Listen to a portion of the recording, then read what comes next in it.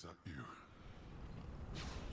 Feared watchdog Cerberus regards the princess with his. Okay, okay. This chamber.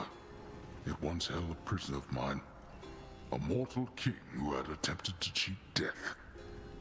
I forced the wretch to heave that boulder up that path forever. He forgave me anyway.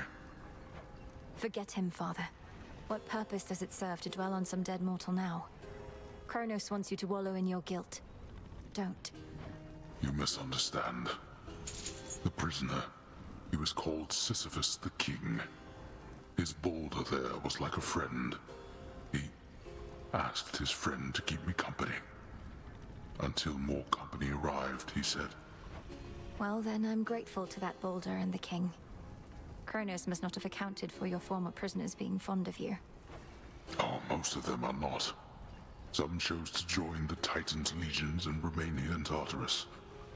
Not anywhere I cast my gaze, of course.